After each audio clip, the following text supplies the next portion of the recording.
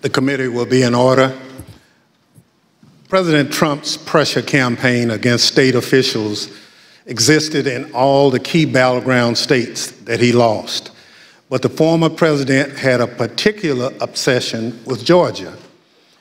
Here is the president on the afternoon of January 6th, after his own attorney general warned him that the claims you are about to hear are patently false. They should find those votes. They should absolutely find that. Just over 11,000 votes, that's all we need. They defrauded us out of a win in Georgia, and we're not going to forget it.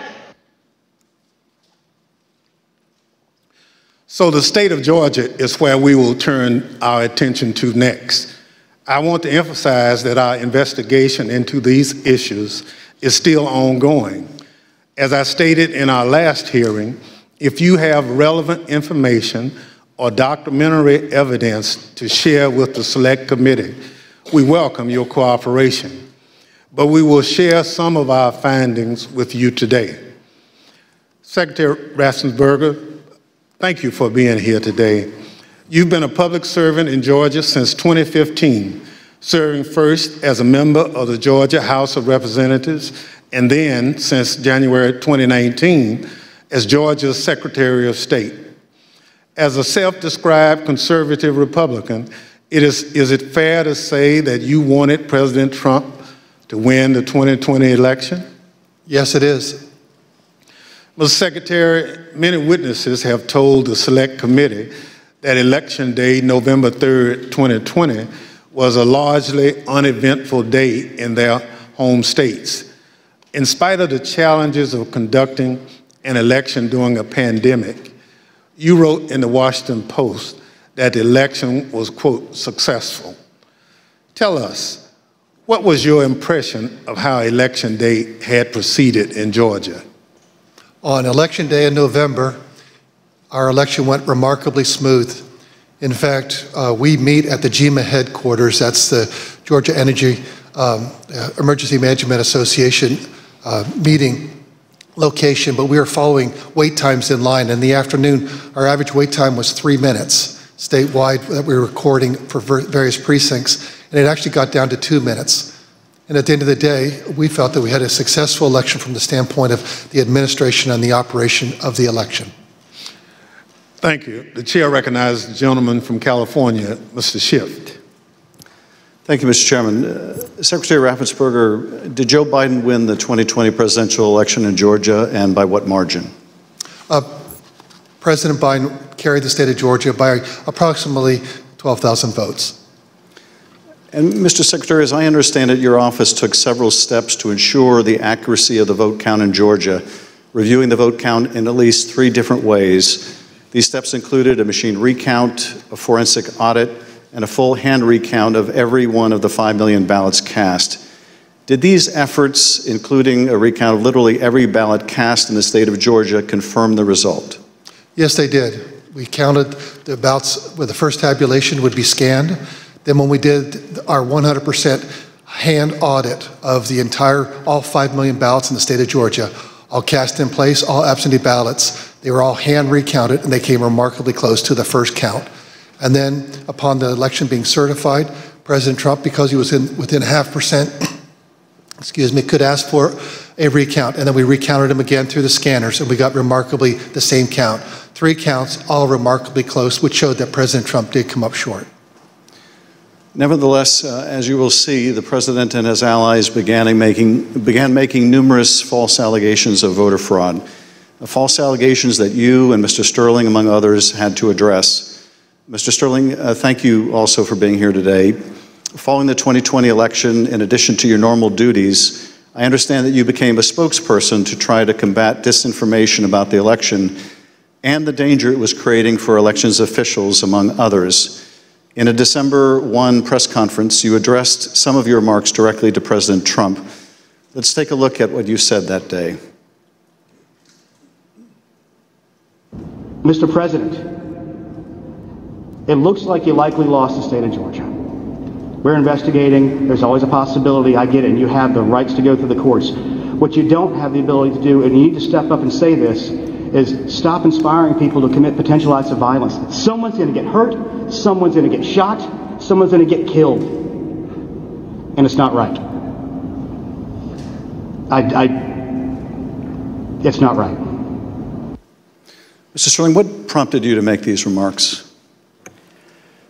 Mr. Schiff, we had had a previously scheduled press conference that day as we were in the habit of doing, trying to be as transparent as we could about the election and the counts going on. Um, a little after lunch that day, uh, lunchtime, I received a call from the project manager from Dominion Voting Systems who was oddly, audibly shaken. She's not the kind of person I would assume would be that way. She has a master's from MIT, a graduate of the Naval Academy, and was very much on the ball and pretty unflappable. And she informed me about a, a young contractor they had who had been receiving threats um, from a, a, video had been posted by some QAnon supporters.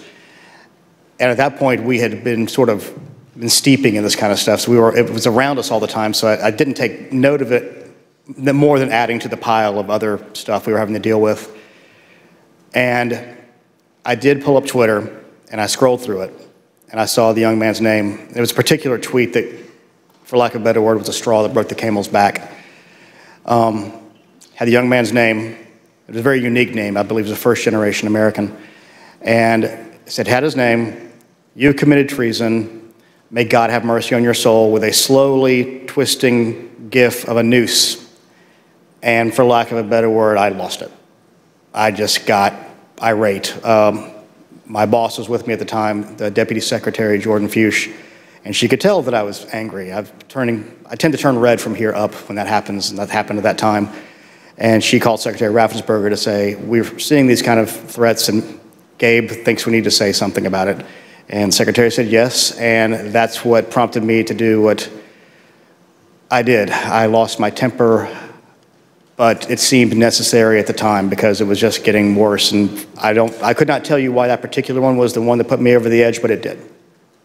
Now, after you made this plea to the president, did Donald Trump urge his supporters to avoid the use of violence? Not to my knowledge. Now, as we know, the president was aware of your speech because he tweeted about it later that day. Let's take a look at what the president said.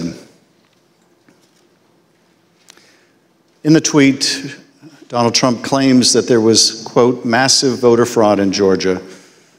Uh, Mr. Sterling, that was just plain false, wasn't it? Yes, sir.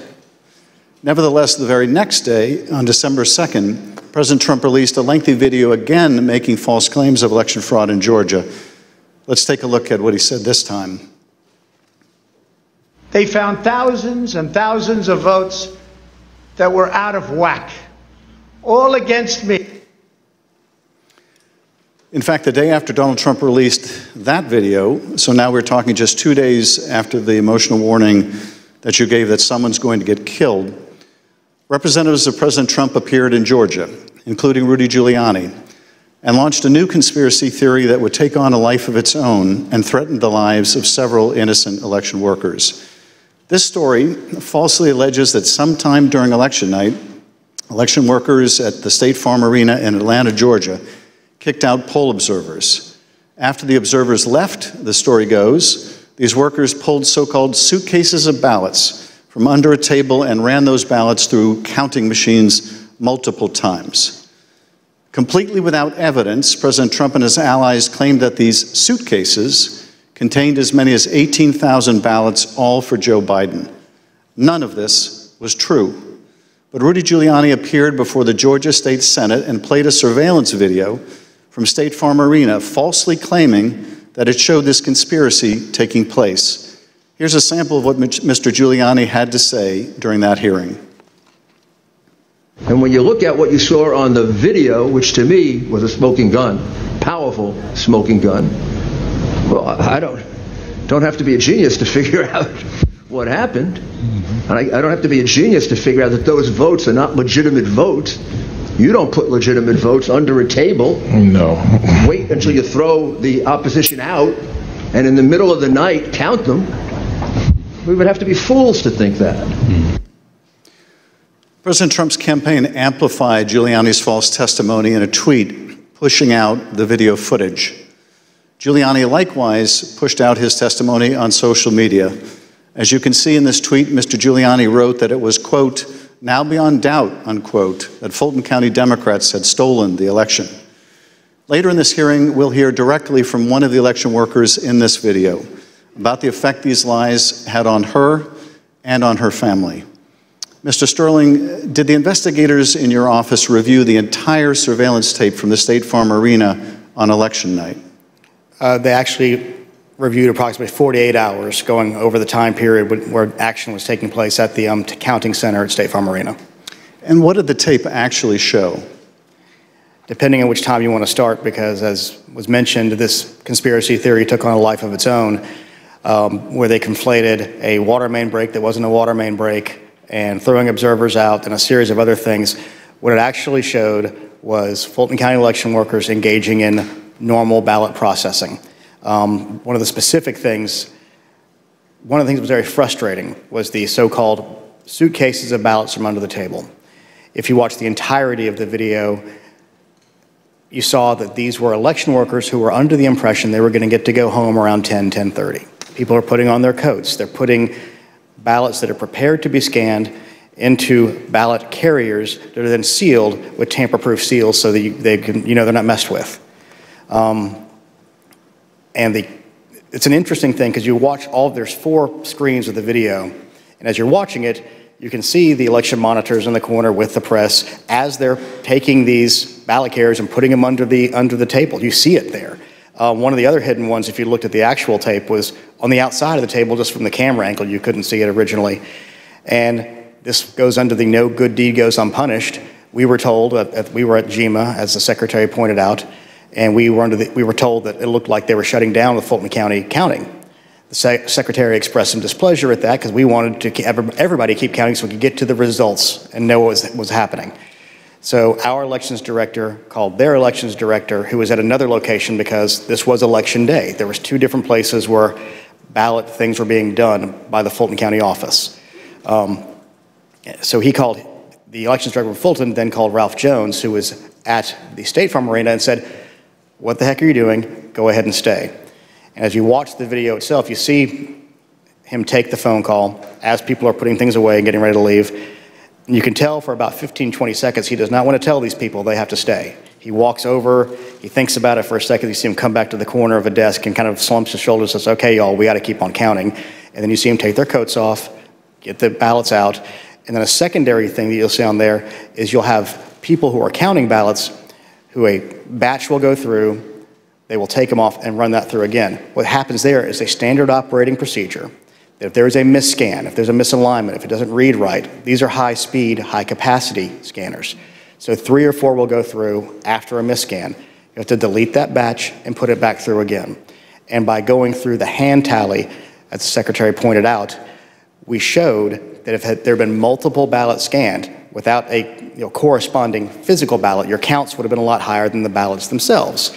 And by doing the hand tally, we saw two specific numbers that were met. The hand tally got us to a 0.1053% off of the total votes cast and 0.0099% on the margin, which is essentially dead on accurate. Um, most academic studies say on a hand tally you'll have between 1 and 2%, but because we use ballot marking devices where it's very clear what the voter intended, it made it a lot easier to, us for us to conduct that hand count and show that none of that was true. Now, I understand that uh, um, when you reviewed these tapes uh, and did the analysis, uh, it disproved this cons conspiracy theory. Um, but you still had to take a lot of steps to try to make sure the public knew the truth about these allegations. Uh, and you did frequent uh, briefings for the press. Let's take a look at one of those press briefings, uh, Mr. Sterling, that you held on December 7th uh, to make the point that you just did today. Move on to what I'm going to call Disinformation Monday. Out of the gate, um, many of y'all saw the videotape from State Farm Arena. I spent hours with our post-certified investigators, uh, Justin Gray from WSB, spent hours with us going over this video to explain to people that what you saw, the secret suitcases with magic ballots, were actually ballots that had been packed into those uh, absentee ballot carriers by the workers in plain view of the monitors and the press. And what's really frustrating is the president's attorneys had this same videotape. They saw the exact same things the rest of us could see, and they chose to mislead state senators and the public about what was on that video. Um, I'm quite sure that they will not characterize the video if they try to enter into evidence, because that is the kind of thing that could lead to sanctions, because it's obviously untrue. They knew it was untrue, and they continue to do things like this.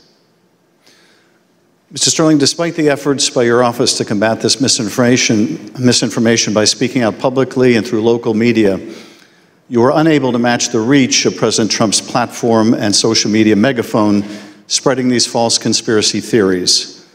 What was it like to compete with a president who had the biggest bully pulpit in the world to push out these false claims? For lack of a better word, it was frustrating. But oftentimes I felt our information was getting out, but that there was a reticence of people who needed to believe it, to believe it because the President of the United States, whom many looked up to and respected, was telling them it wasn't true, despite the facts. And I have characterized at one point it was kind of like a shovel trying to empty the ocean. And yes, it was frustrating. I even have you know, family members who I had to argue with about some of these things. And I would show them things. And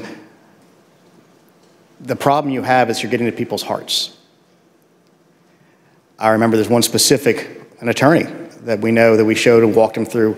This wasn't true. Okay, I get that. This wasn't true. Okay, I get that. This wasn't five or six things. But at the end, he goes, I just know in my heart they cheated. That's just, and so once you get past the heart, the facts don't matter as much. And our job from our point of view is to get the facts out, do our job, tell the truth, follow the Constitution, follow the law, and defend the institutions and the institutions held. Let's take a look at what you were competing with. This is former, the former president speaking in Georgia on December 5th. Evidence of fraud is overwhelming, and again, I'm going to ask you to look up at that very, very powerful and very expensive screen. Hidden cases of possible ballots are rolled out from under a table. Four people under a cloud of suspicion.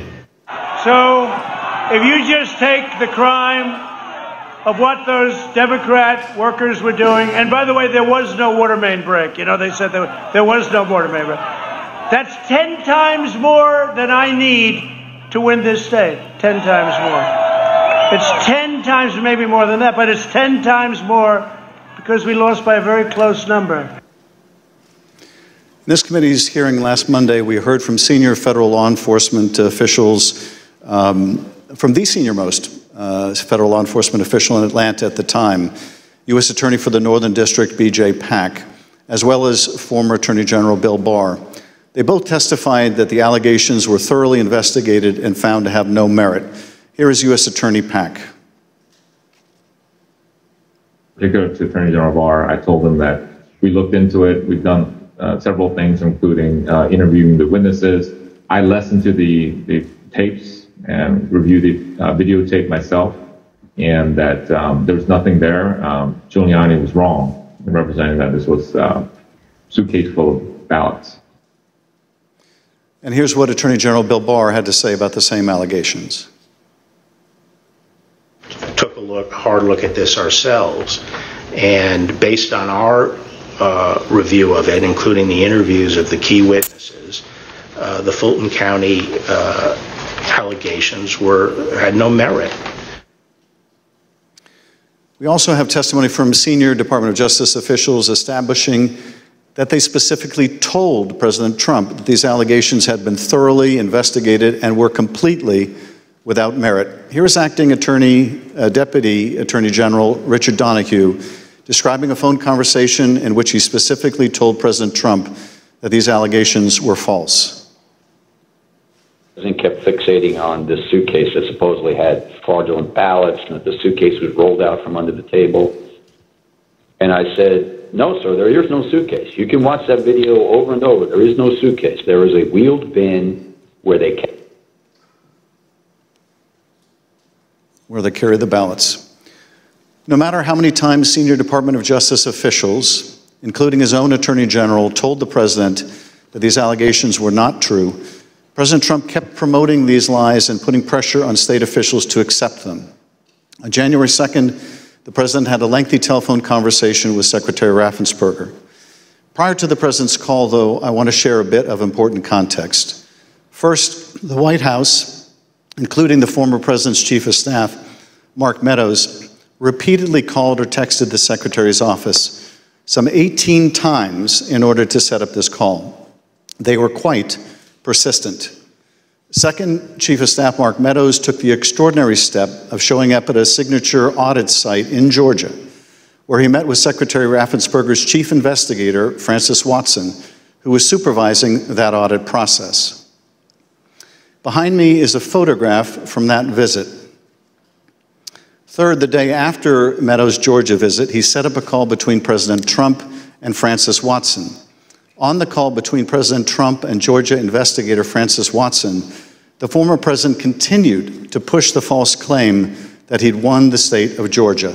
Let's listen to that part of the conversation. You know, it's just you have the most important job in the country right now because if we win Georgia, first of all, if we win, you're going to have two wins. You're not, they're not going to win right now. You know, they're down because the people of Georgia are so angry at what happened to me. They know I won, won by hundreds of thousands of votes. It wasn't close. And in this next clip, he told this state law enforcement official that she'd be praised if she found the right answer. Hopefully, uh, you know, I will. When when the right answer comes out, you'll be praised. I mean, I don't know why. You know, they they made it so hard they will be praised. People will say, great, because that's what it's about, that ability to check and to, and to make it right. Because everyone knows it's wrong. There's just no way. Mr. Raffensperger, I know you weren't on this call, but, uh, but that you have listened.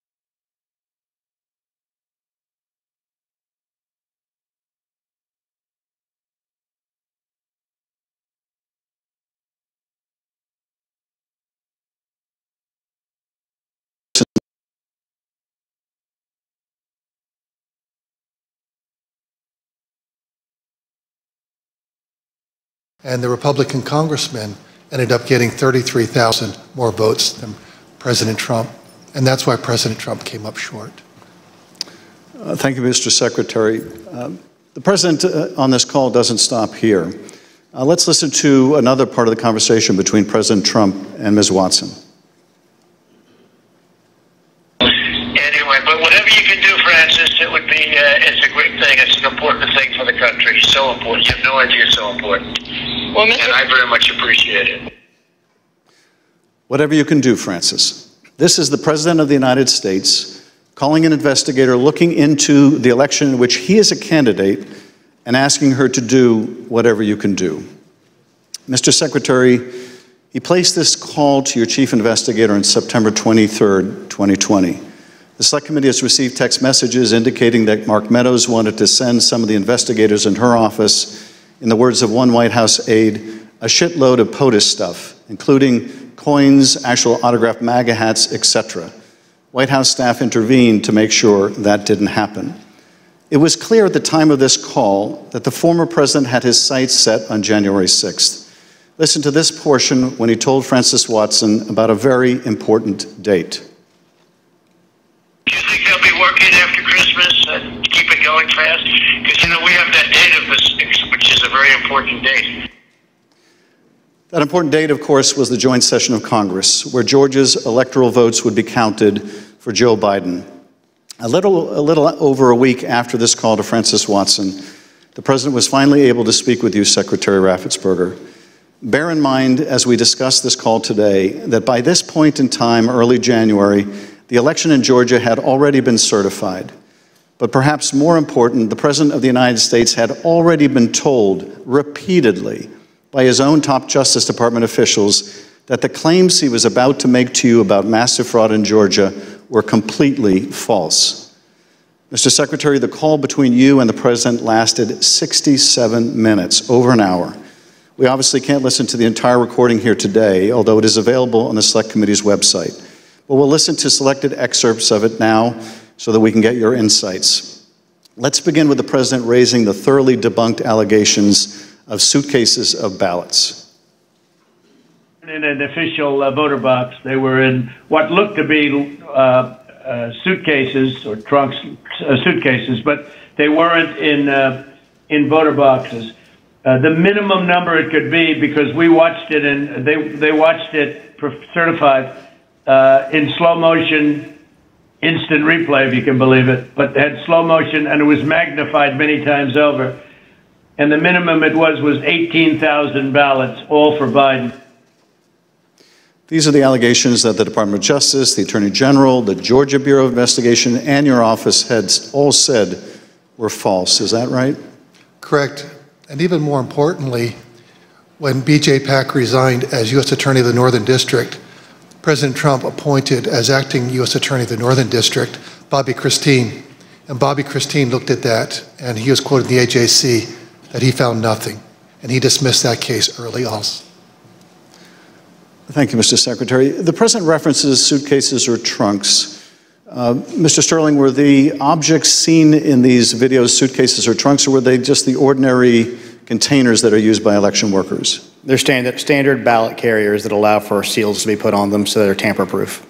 Uh, and finally, the President claims that there was a minimum of 18,000 ballots somehow smuggled in all for Biden. I take it, uh, gentlemen, that that was also categorically false? There's no, A, there's no physical way he can know who those ballots were for, but secondarily, we had, Fulton County for years has been an issue in our state when it comes to elections. So we had, they had a very difficult time during the primary, in large part because of COVID. So we had put them under a consent decree the secretary got negotiated where we had a monitor um, on site and his name is Carter Jones. And he took a notation. He had gone from State Farm to the English Street warehouse to look at election day activities. But before he left the State Farm Arena, he noted how many ballots had been counted on each one of the machines. And when he came back after we found out they were working again, he, he took note again when they closed. And I believe the final number was something around 8,900 total ballots were scanned from the time he left to the time about 12:30 or 1 o'clock in the morning. So way below 18,000. Uh, let's play the next clip. I heard it was close. I said, there's no way. But they dropped a lot of votes in there late at night. You know that, Brad. Mr. Secretary, did somebody drop, drop a lot of votes there late at night? No. Uh, I believe that the president was referring to some of the counties when they would upload, but the ballots had all been accepted and had to be accepted by state law by 7 p.m. So there were no additional ballots accepted after 7 p.m. Let's play the next clip in which uh, the president makes claims about so called dead voters. The other thing, uh, dead people. So dead people voted. And I think uh, the, the number is in the pro- uh, close to 5,000 people. And they went to uh, obituaries, they went to uh, all sorts of methods to come up with an accurate number. And a minimum is close to about 5,000 voters. Mr. Secretary, did your office investigate whether those allegations were accurate? Did 5,000 dead people uh, in Georgia vote? Uh, no, it's not accurate. And actually, in their lawsuits, they allege 10,315 dead people. Uh, we found two dead people when I wrote my letter to Congress that's dated January 6th. And subsequent to that, we found two more. That's one, two, three, four people, not 4,000, but just a total of four, not 10,000, not 5,000. Let's play the next clip. And there's nothing wrong with saying that, you know, uh, that you've recalculated because uh, the 2,236 and absentee ballots, I mean, they're, they're all exact numbers that were, were done by accounting firms, law firms, etc. And even if you cut them in half, cut them in half, and cut them in half again, it's more votes than we need. Mr. Secretary, is there any way that you could have lawfully changed the result in the state of Georgia and somehow explained it away as a recalculation? No, the numbers are the numbers. The numbers don't lie. We had many allegations and we investigated every single one of them. In fact, I challenged my team, did we miss anything? They said that there was over 66,000 underage voters. We found that there was actually zero. You can register to vote in Georgia. When you're 17 and a half, you have to be 18 by election day. We checked that out, every single voter. They said that there was 2,423 non-registered voters. There were zero. They said that there was 2,056 felons. We identified less than 74 or less that were actually still in felony sentence. Every single allegation we checked, we ran down the rabbit trail to make sure that our numbers were accurate. So there's no way you could have recalculated it except uh, by fudging the numbers? The numbers were the numbers, and we could not recalculate because we had made sure that we had checked every single allegation. And we had many investigations. We had nearly 300 from the 2020 election. Mr. Secretary, you tried to push back when the president made these unsupported claims, whether they were about suitcases of ballots uh, or that Biden votes were counted three times. Let's play the next clip. President, they did not put that. We we com- we did an audit of that, and we proved conclusively that they were not scanned three times. Yeah, Mr. President, we'll send you the link from WSB that does. I, I don't care about a link. I don't need it. I have a, a much, Brad, I have a much better link. You told the president you would send him a link from WSB, which I understand is a local television station that had a uh, unedited video from the State Farm Arena. But the president wasn't interested in that. He said he had a much better link. Uh, Mr. Secretary, at the time that you were on the call with the president, as we have shown, both the FBI and the Georgia Bureau of Investigation have proven these claims to be nonsense. And you told him about these investigations on the phone. Let's listen to what President Trump had to say about the state and federal law enforcement officers who conducted, who investigated these false claims. There's no way they could find, then they're incompetent. They're, they're either Well, dishonest they or find? incompetent, okay? There's only two answers, dishonesty or incompetence. There's just no way. Look, there's no way. But the president didn't stop at insinuating that law enforcement officers were either dishonest or incompetent. He went on to suggest that you could be subject to criminal liability for your role in the matter. Before I play that portion of the conversation, I'd like to show you something that the president retweeted a couple weeks before your call with him. Here's the president retweeting a post from one of his allies, a lawyer who was later sanctioned by a judge in Michigan for making false claims of election fraud. Let's take a look at that tweet. The tweet read, quote, President Trump, at real Donald Trump, is a genuinely good man. He does not really like to fire people. I bet he dislikes putting people in jail, especially quote unquote Republicans. He gave at Brian Kemp, Georgia, and at Georgia Secretary of State every chance to get it right. They refused. They will soon be going to jail. So, on your call, this was not the first time the president was suggesting you might be criminally liable. With that, let's listen to this portion of the call. I think you're going to find that they are shredding ballots because they have to get rid of the ballots because the ballots are unsigned. The ballots are are corrupt, and they're brand new and they don't have seals. And there's a whole thing with the ballots, but the ballots are corrupt, and you're going to find that they are, which is totally illegal. It's it's it's more illegal for you than it is for them because you know what they did and you're not reporting it. That's a you know that's a criminal that's a criminal offense. And and you know you can't let that happen. That's that's a big risk to you and to Ryan, your lawyer. That's a big risk. Secretary Raffensperger, after making a false claim about shredding of ballots, the president suggested that you may be committing a crime by not going along with his claims of election fraud. And after suggesting that you might have criminal exposure, President Trump makes his most explicit ask of the call. Let's play a part of that conversation. So look, all I want to do is this. I just want to find uh, 11,780 votes, which is one more than we have, because we won the state Mr. Secretary, was the president here asking you for exactly what he wanted? One more vote than his opponent. What I knew is that we didn't have any votes to find. We had continued to look. Uh, we investigated, like I just shared the numbers with you. There were no votes to find. That was an accurate count that had been certified.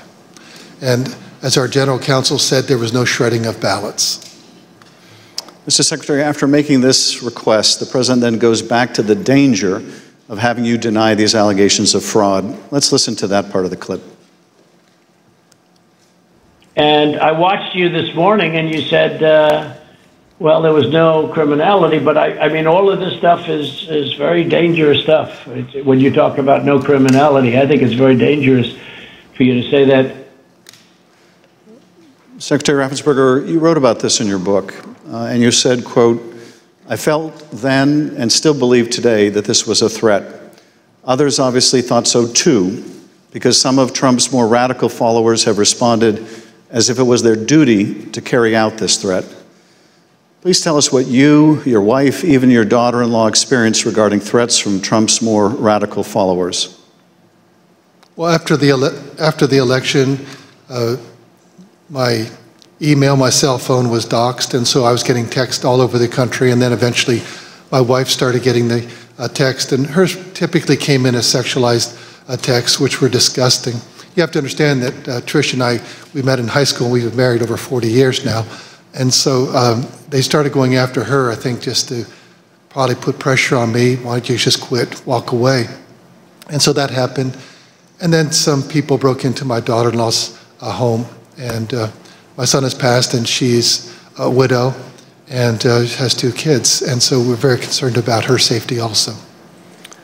And Mr. Secretary, why didn't you just quit and walk away? Because I knew that we had followed the law and we had followed the Constitution. And I think sometimes moments require you to stand up and, and just take the shots when you're doing your job. And that's all we did. You know, we just followed the law and we followed the Constitution. And at the end of the day, President Trump came up short. But I had to be faithful to the Constitution. And that's what I swore an oath to do. During the remainder of the call, the former president continued to press you to find the remaining votes that would ensure his victory in Georgia. Let's listen to a little more. Why wouldn't you want to find the right answer, Brad, instead of keep saying that the numbers are right? So look, uh, can you get together tomorrow? And Brad, we just want the truth. It's simple, and uh, and everyone's going to look very good if the truth comes out. It's okay. It takes a little while, but let the truth come out. And the tr- the real truth is, I won by four hundred thousand votes at least. So what? So what are we going to do here, folks? I only need eleven thousand votes, fellas. I need eleven thousand votes. Give me a break. Four days after the president's call to Secretary Raffensperger was January 6th. The president whipped up the crowd in front of the ellipse, once again promoting the allegation that Secretary Raffensperger, the president's own attorney general, had told him was false. Here he is on the ellipse. In Fulton County, Republican poll watchers were ejected, in some cases physically, from the room under the false pretense of a pipe burst, water main burst, everybody leave, which we now know was a total lie. Then election officials pull boxes, Democrats, and suitcases of ballots out from under a table. You all saw it on television, totally fraudulent, and illegally scanned them for nearly two hours, totally unsupervised. Tens of thousands of votes. This act coincided with a mysterious vote dump of up to 100,000 votes for Joe Biden, almost none for Trump. Oh, that sounds fair. That was at 1:34 a.m. Mr. Secretary, Mr. Sterling, I want to thank you for your service to the state of Georgia and to the country. Um, Speaker Bowers, likewise, I want to thank you for your service to the state of Arizona and to the country. You have served not only your home states, but our nation and our democracy. Mr. Chairman, uh, I yield back. Thank you, Mr. Schiff. I thank the witnesses for joining us today. You're now dismissed.